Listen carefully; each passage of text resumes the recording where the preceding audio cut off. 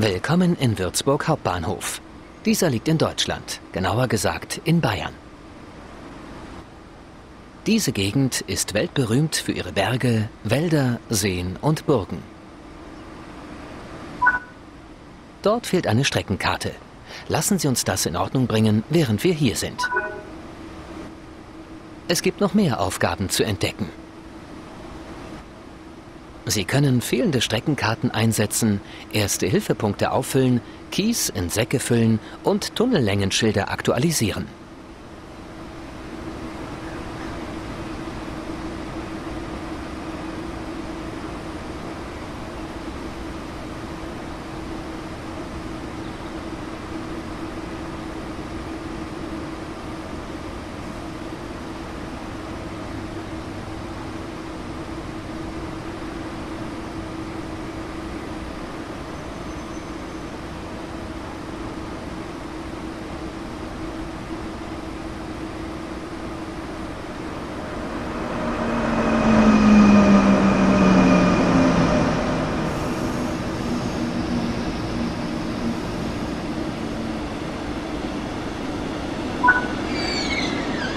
Ihr Zug ist angekommen.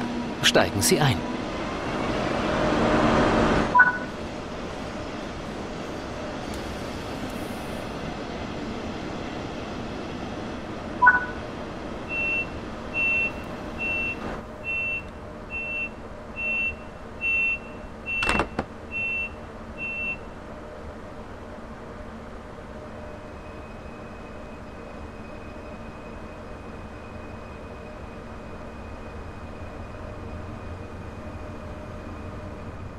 Diese Strecke verläuft über 185 Kilometer zwischen den Städten Würzburg und Kassel auf der Schnellfahrstrecke Hannover-Würzburg, Deutschlands erster Hochgeschwindigkeitsstrecke.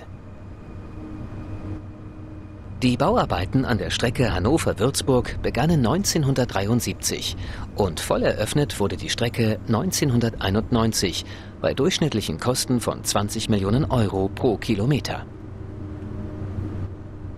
Eine große Herausforderung beim Bau der Strecke waren die 50 Tunnel und 31 Viadukte, die auf diesem 185 Kilometer langen Abschnitt zwischen Kassel und Würzburg nötig wurden. Dieser Zug war der erste Intercity-Express-Zug, auch bekannt als ICE 1. Er besteht aus zwei Triebköpfen der Baureihe 401 an jedem Ende und bis zu 14 Wagen dazwischen. Hergestellt von Siemens zwischen 1989 und 1993 war der ICE 1 die erste Generation von Hochgeschwindigkeitszügen in Deutschland mit einer Höchstgeschwindigkeit von 280 Kilometer pro Stunde. Auf dieser Strecke können Sie sowohl den ICE 1 und seinen modernen Nachfolger, den ICE 3, fahren, als auch Güterzüge ziehen mit Hilfe der BR 185.2. Erleben Sie den Rausch der Geschwindigkeit, während Sie durch dicht bewaldete Täler, über ehrfurchtgebietende Viadukte und durch tiefe Tunnel rasen. Dies ist Train Sim World Schnellfahrstrecke Kassel-Würzburg.